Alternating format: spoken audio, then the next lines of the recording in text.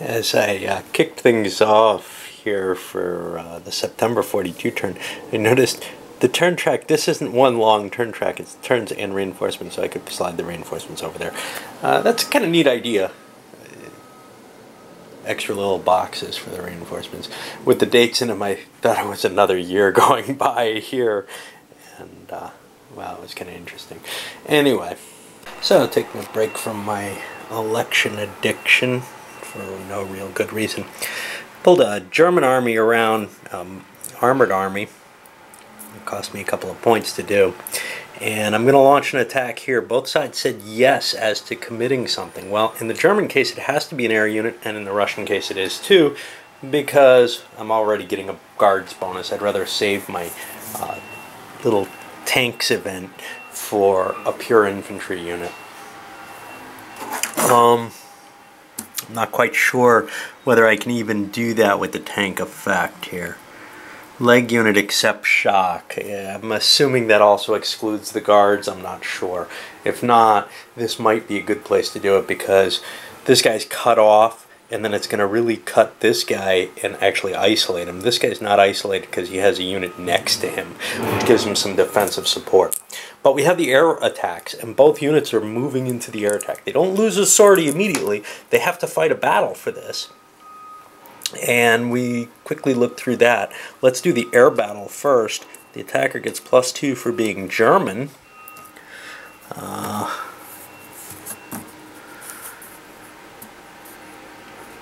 and then we each get minus four. So the Germans are at minus two, the Russians are at minus four.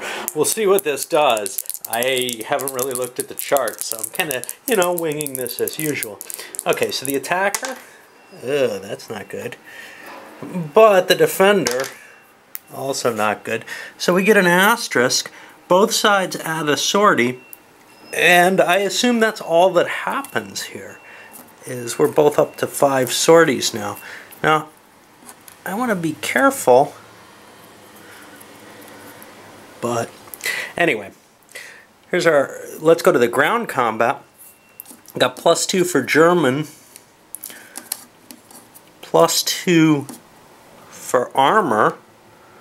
The Russians will get plus one for their uh, shock. We can read through the rest of this and see if there's anything else here. It's not an isolated unit.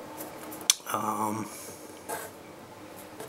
no air support was uh, applied, I think.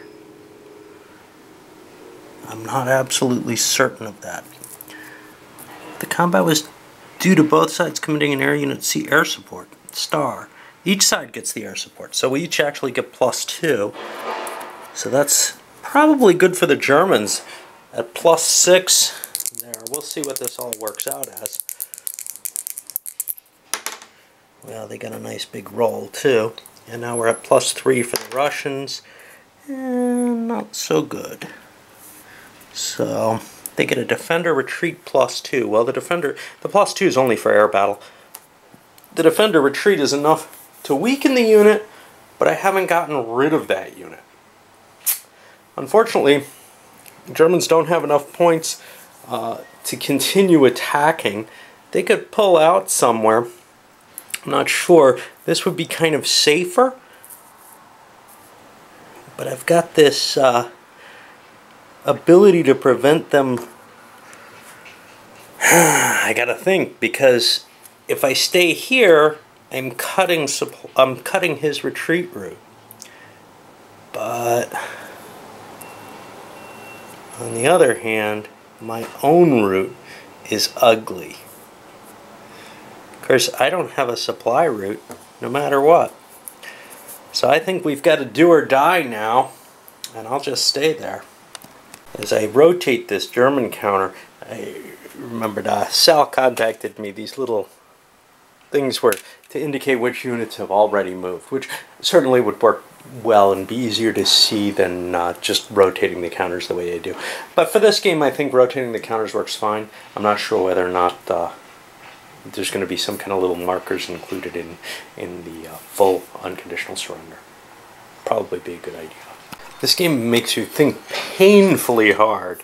Uh, Anyway, uh, trying to figure out what to do next with the Germans, but then I realized this is not a leg unit, it's a motorized unit, so or a mobile unit, so it couldn't have had the tanks anyway, so that clarifies that issue.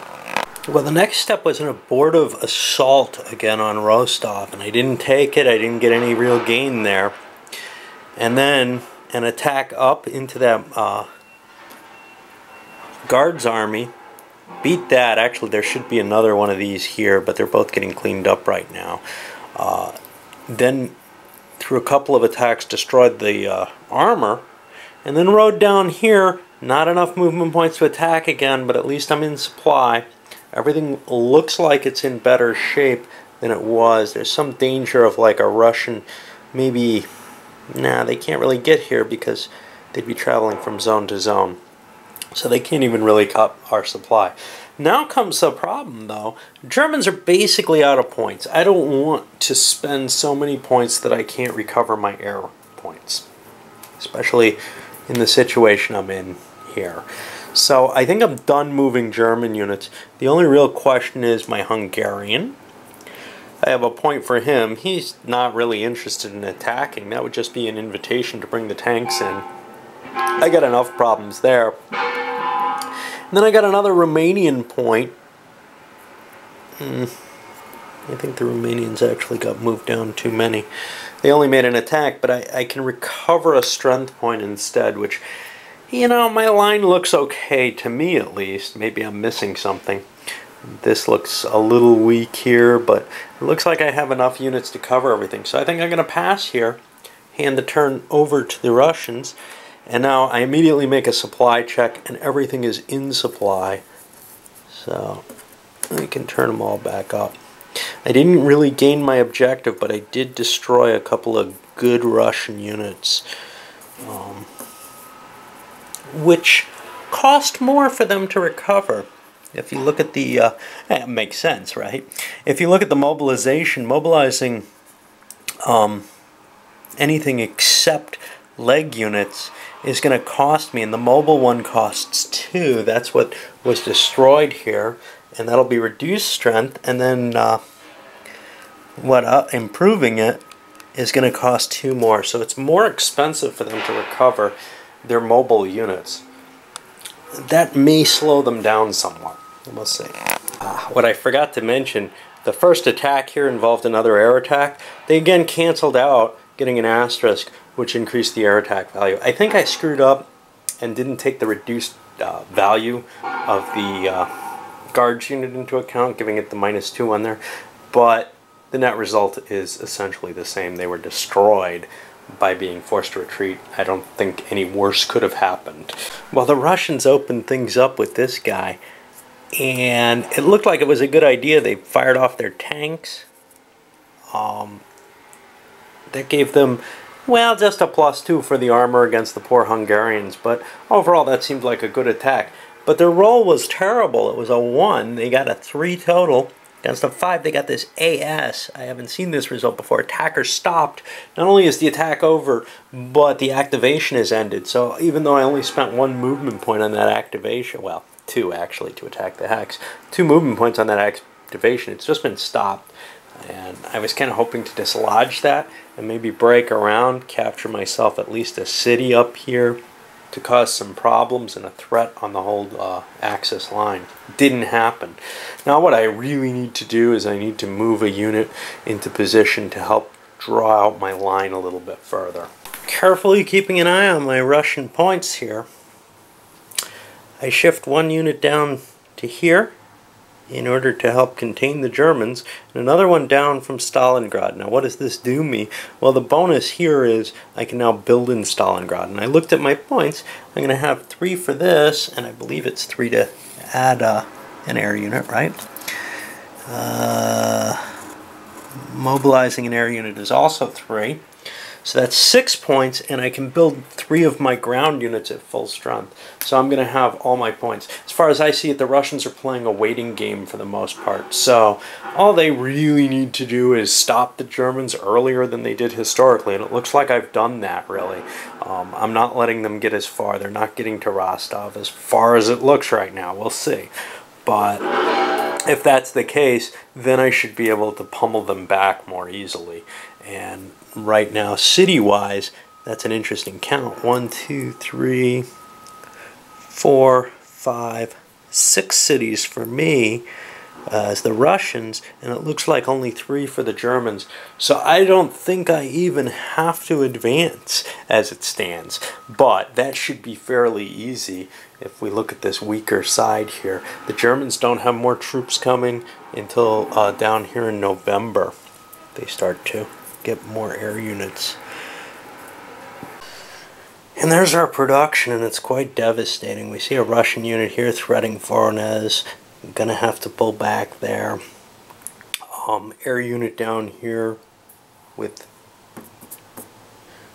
my defensive bastion there at threat as well. It does not look at all good for the Germans. The only thing that they have going for them is a big gap right here, which maybe they could take Stalingrad, but nah, you know, we'd be stretching way too far. So to me, it looks like we actually have to fall back at this point, and that's going to be not pretty. So where are we? Well, we didn't win yet with either side. So we go to the turn marker segment. This shifts down. But these guys, it appears, slide down to be able to be purchased next turn. Know, there's this. A unit removed from the reinforcement track is... Oh, okay. A unit here put on the map, yeah. I think that's right. Okay. Well, we're ready to start another turn.